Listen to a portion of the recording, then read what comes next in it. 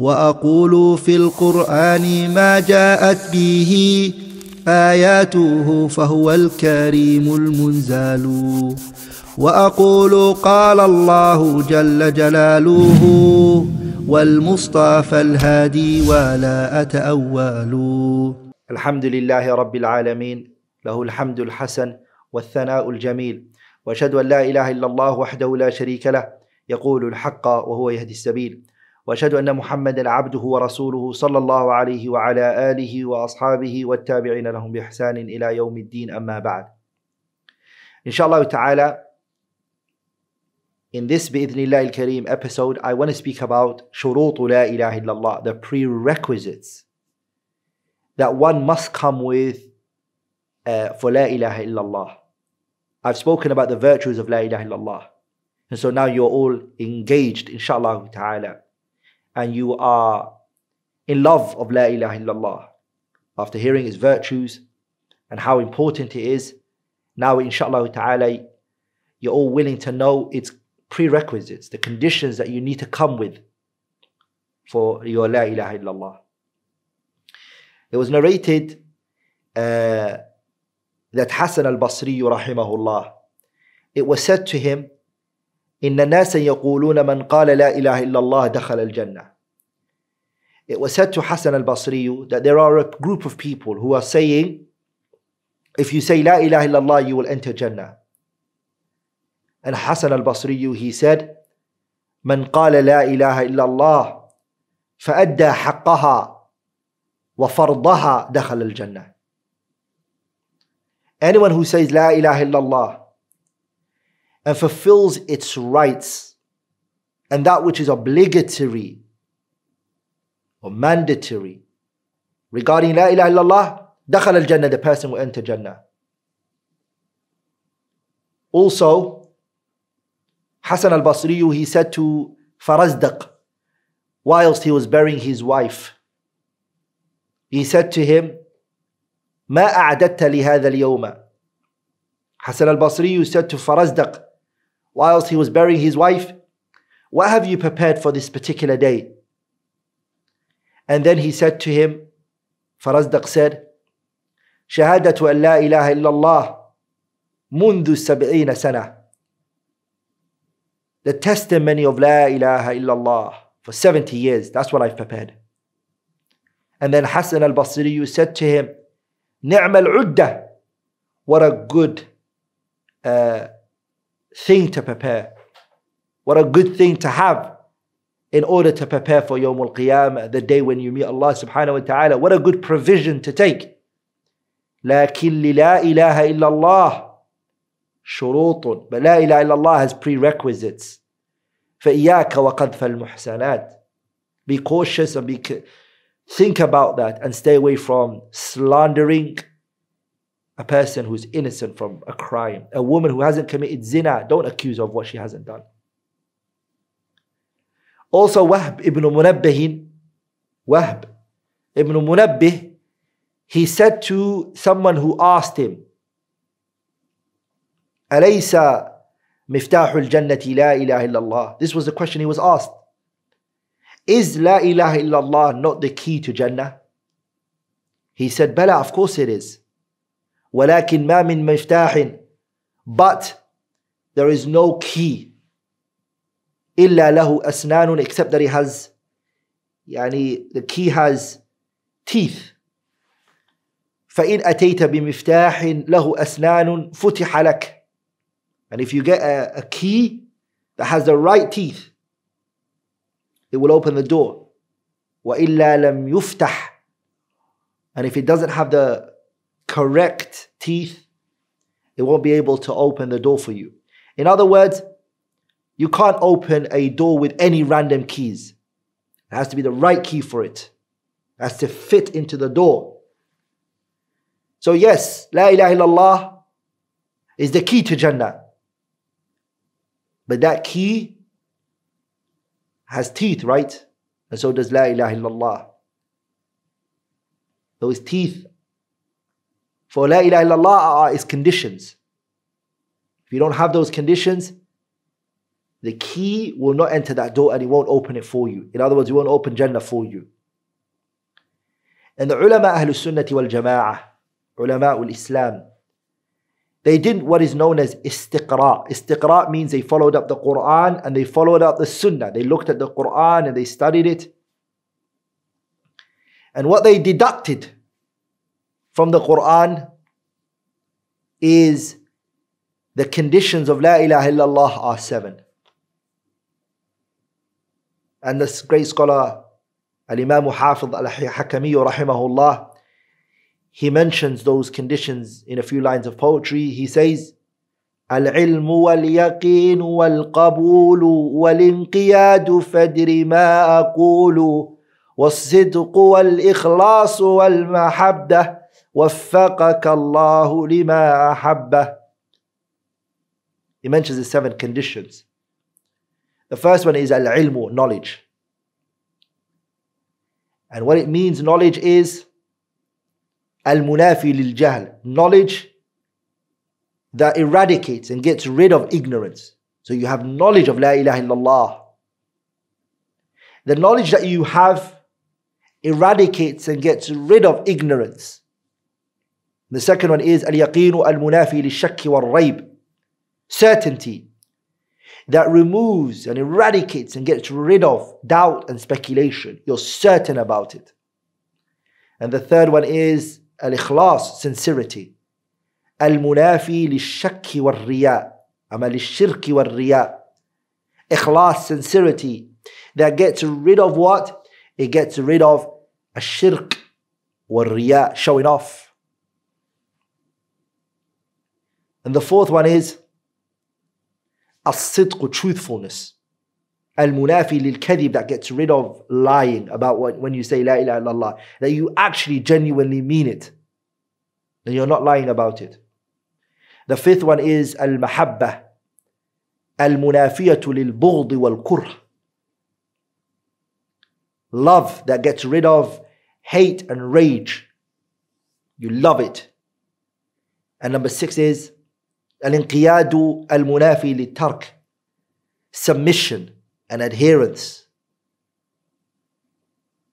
that gets rid of a tark you're not abandoning it and last but not least al-qabul acceptance accepting it al-munafi lil-rad that gets rid of uh, rejecting it I'm going to go through each one, inshallah ta'ala. So you have good understanding of it. The first one is al-ilmu, knowledge. And that means a person, when they say La ilaha illallah, they have knowledge of what they are saying. What is it that you have to have knowledge of? You have to have knowledge of that La ilaha illallah is negating servitude and ubudiyya and ibadah from everything else. And it is only affirming it for Allah subhanahu wa ta'ala. You have knowledge that La ilaha illallah means La ma'buda bihaqqin illallah. That there is no individual who deserves to be worshipped except Allah subhanahu wa ta'ala. That you know La ilaha illallah means Iyaka na'budu. Oh Allah, you alone we worship. وإياك نستعين إياك نعبد what does it mean? It means أي نعبدك Oh Allah we worship you ولا نعبد غيرك and we don't worship anyone other than you ونستعين بك Oh Allah we seek help from you and aid ولا نستعين بسواك and we do not look for help and aid and support from anyone other than you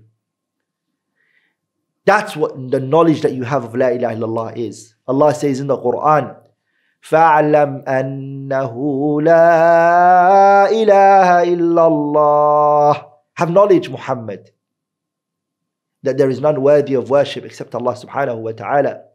That ayah is the evidence to show that you have to have knowledge of La ilaha illallah. Look what Allah said. فَعْلَمْ Know لا إله إلا الله that there is none worthy of worship except Allah subhanahu wa ta'ala.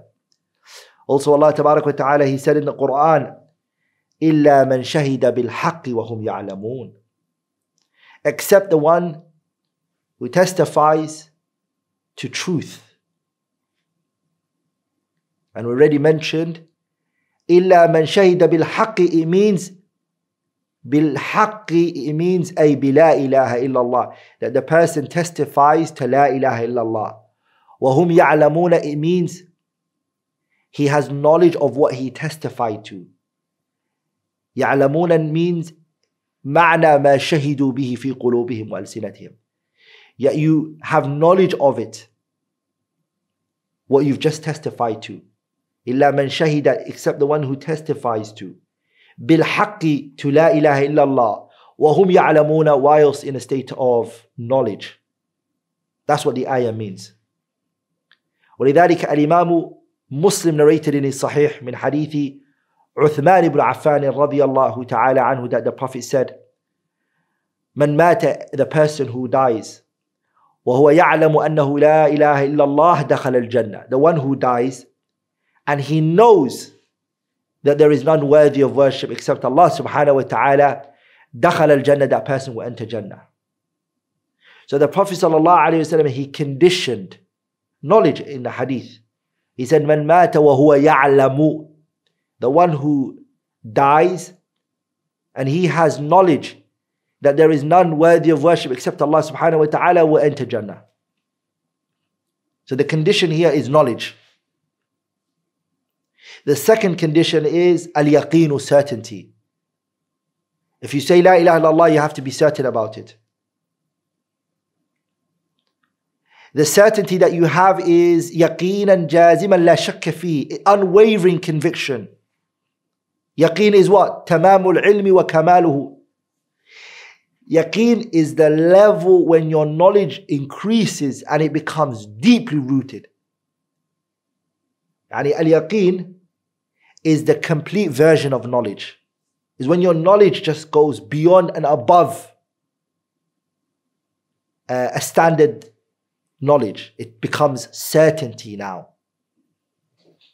ولذلك Allah تبارك وتعالى when he described the believers look what he said. He said إنما المؤمنون الذين آمنوا بالله ورسوله ثم لم يرتابوا ثم لم يرتابوا وجاهدوا بأموالهم وأنفسهم في سبيل الله. أولئك هم الصادقون Allah said in Surah Al-Hujurat that the believers, the word innama means that the believers are nothing except الذين آمنوا بالله, the ones who believed in Allah. ورسوله, they believed in the Messenger sallallahu alayhi wasallam. ثم لم يرتابوا. What does it mean ثم لم يرتابوا? It means أيقنوا ولم يشككوا. They had certainty and there was no doubt in their heart. ثم لم يرتابوا means believing in Allah and the Messenger is with certainty. There's no doubt in their heart. Al-Imam Muslim narrated in his Sahih من حديث أبي هريرة رضي الله تعالى عنه that the Prophet صلى الله عليه وسلم said أشهد أن لا إله إلا الله وأني رسول الله لا يلقى الله بهما عبد غير شاك فيهما إلا دخل الجنة The Prophet صلى الله عليه وسلم he said I bear witness that there is none worthy of worship except Allah and that I am a messenger of Allah.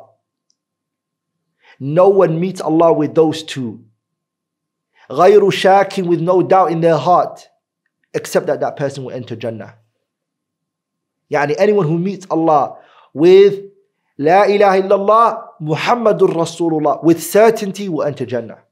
Also the Prophet ﷺ he said in a hadith Al-Imam Muslim narrated in his Sahih min hadith Abi Hurairah that the Prophet ﷺ he said من لقيت من وراء هذا الحائط يشهد أن لا إله إلا الله مستيقنا بها قلبه فبشره بالجنة The Prophet said, anyone who you meet from behind the wall,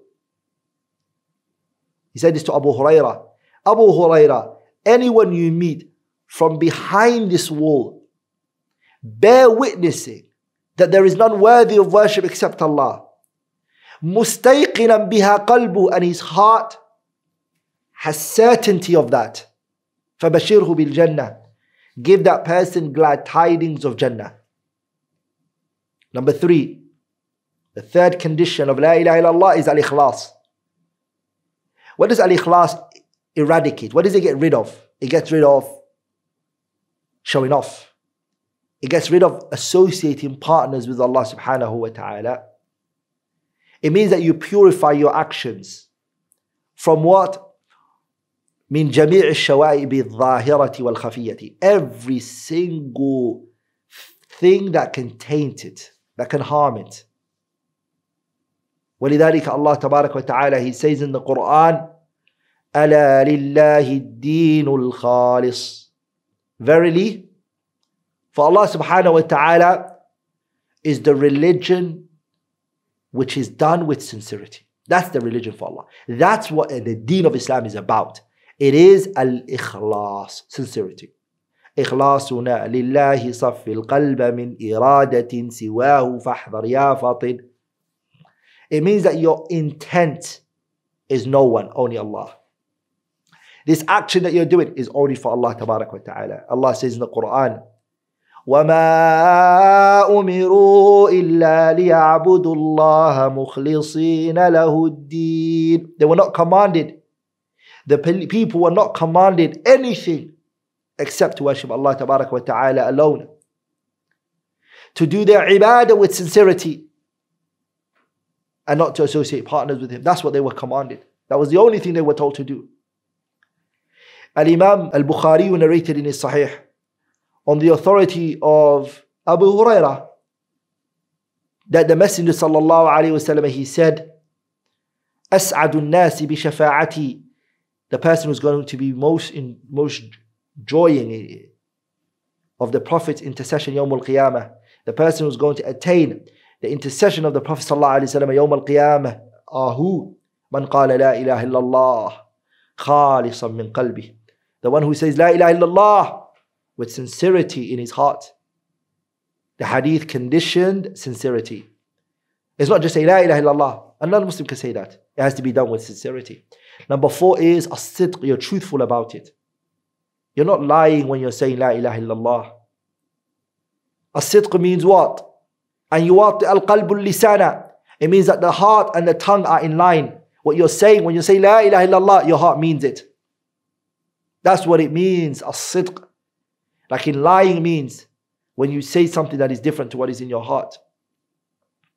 Allah subhanahu wa ta'ala, He said in the Quran, إذا جاءك المنافقون Allah is saying to Muhammad when the hypocrites come to you because that's the, that's the hypocrite the hypocrite says something but his heart is different to what he's saying they're not in correlation Allah وتعالى he said about the munafiqeen إذا جاءك المنافقون قالوا نشهد إنك لرسول الله والله يعلم إنك لرسول والله يشهد إن المنافقين لكاذبون Allah described the munafiqeen as what? لكاذبون, they're liars. And what they are saying when they say we're believers is all a lie. They come to the Prophet ﷺ and they say, نشهد إنك لا رسول الله. We testify, we bear witness that you're a messenger sent from Allah. Allah says, والله يعلم إنك لا رسول. Allah knows that you're a messenger from Allah.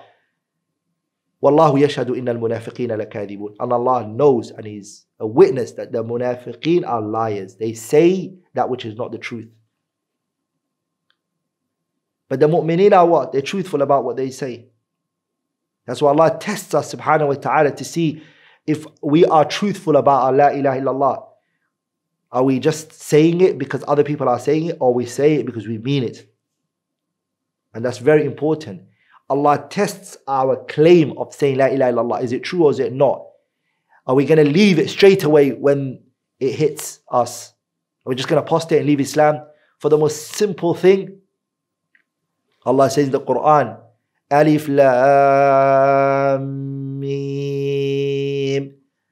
أحسب الناس أن يتركوا أن يقولوا آمنا وهم لا يفتنون ولقد فتنا الذين من قبلهم فليعلمن الله الذين صدقوا وليعلمن الكاذبين Allah says Alif Lam Mim Allahu a'lamu bi muradi Allah knows what he means by it أحسب الناس do the people think أن يتركوا that they will be left أن يقولوا آمنا to say I believe وهم لا يفتنون and they won't be tested do they think that that statement of theirs that I, I believe in Allah is not going to be put to the test of course it will Allah says وَلَقَدْ فَتَنَّا الَّذِينَ مِنْ قَبْلِهِمْ we tested those who came before them فَلَيَعْلَمَنَّ اللَّهُ الَّذِينَ صَدَقوا Allah knows those who are truthful وَلَيَعْلَمَنَّ الْكَاذِبِينَ and Allah knows those who are lying about their claim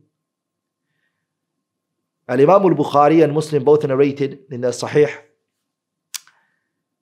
on the authority of Mu'adh ibn Jabal radiallahu ta'ala anhu that the Prophet sallallahu alayhi wasallam said ما من أحد يشهد أن لا إله إلا الله وأن محمدا عبده ورسوله صادقا من قلبه إلا حرم الله إلا حرمه الله على النار The Prophet said صلى الله عليه وسلم that there is no individual who testifies لا إله إلا الله He says it with his tongue. He pronounces those words. He says إله إلا الله وأن محمدا عبده ورسوله and that Muhammad is his slave and his messenger. I bear witness to that. صادقا من قلبي but the heart is also in line with it. It's truth. He means it in his heart. The, the speech that's coming from his mouth and the, and, the, and, the, and the heart are in line. إلا حرمه الله على النار. Allah will prevent hellfire from you. You will not be from the people of the hellfire.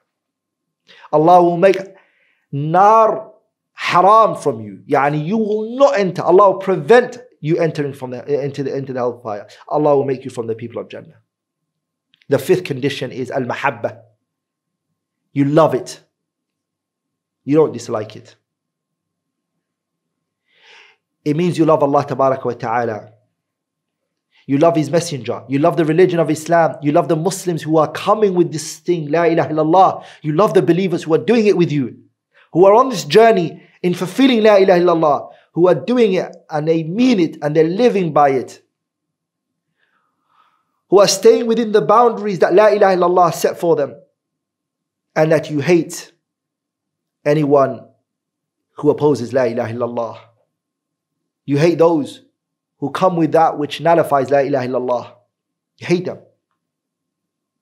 Allah Ta'ala, He said in the Quran, ومن الناس من يتخذ من دون الله أندادا. أندادا يحبونهم كحب الله والذين آمنوا أشد حبا لله. Allah says ومن الناس from amongst the people are those من يتخذ من دون الله أندادا. They take besides Allah a nid someone that's equal to him.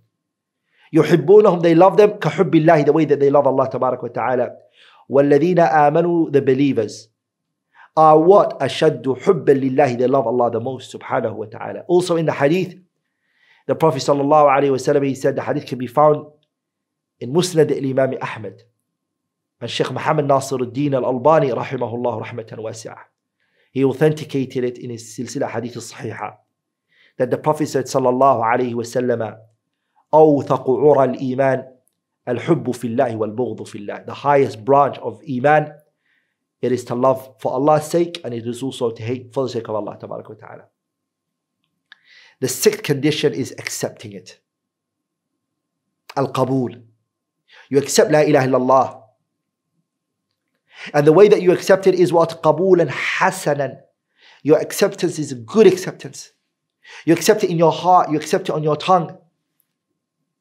Allah told us subhanahu wa ta'ala the nations who came before us in the Quran.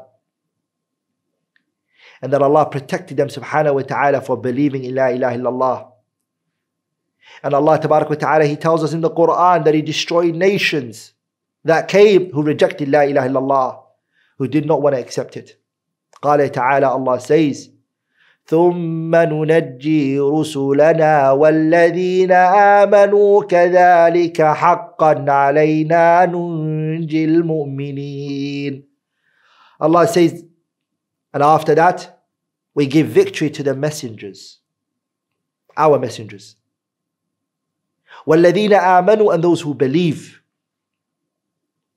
then Allah says كذلك and like that حقا علينا ننجي المؤمنين like that we give victory to the believers but look what Allah said about the mushrikeen those who come with the opposite of La ilaha illallah who associate partners with Allah what did Allah say about them Allah says إنهم كانوا إذا قيل لهم لا إله إلا الله يستكبرون ويقولون أئنا لتاركو آلهتنا لشاعر مجنون. الله says إذا قيل لهم من استسلم say لا إله إلا الله. What happens? يستكبرون they become arrogant. ويقولون and they say أئنا are we لتاركو آلهتنا؟ Are we going to leave our idols? For who? لشاعر مجنون. A poet, يعني نبي الله محمد. مجنون, an insane individual. Are we? In other words, they didn't want to accept it. They rejected the message that came to them. They rejected La ilaha illallah. They didn't come with this condition.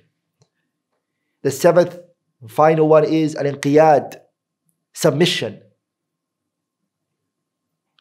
La ilaha illallah it guides us. It sends us in particular directions. It prevents us from things. We surrender to what it's telling us to do and we stay away from what La ilaha illallah is telling us to stay away from. Allah Tabarak wa Ta'ala, He says, ومن يسلم وجهه إلى الله وهو محسن anyone who surrenders himself. It comes with inqiyat, surrenders, submits, adheres to who Allah tabarak wa ta'ala. وهو محسن whilst in a state of excellence. فقد استمسك بالعروة الوثقى That person has held on to what? أي فقد استمسك بلا إله إلا الله That person is held on to لا إله إلا الله Holding on to it. Surrendering to it. Those are the conditions of La ilaha illallah, my beloved brothers and sisters. Wallahi is not just memorizing its wordings. And is not just regurgitating and repeating it. How many people have memorized its conditions or know it? There are a few people. There are quite good number of people around the world who know the conditions of La ilaha illallah. But the issue isn't. The issue is internalizing it, taking it in and living by it becoming a person who comes with those conditions.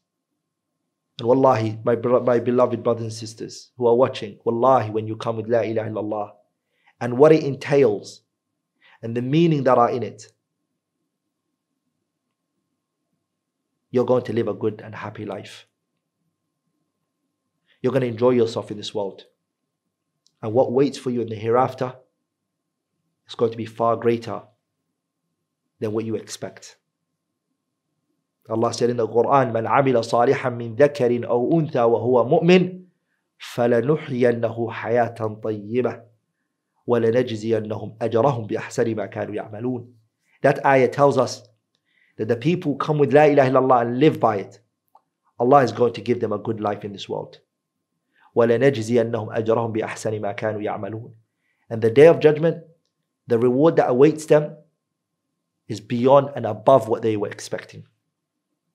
I ask Allah Ta'ala bimannihi wa karamihi that Allah makes us subhanahu wa ta'ala from the people who live by La ilaha illallah, who act upon La ilaha illallah, who die with La ilaha illallah.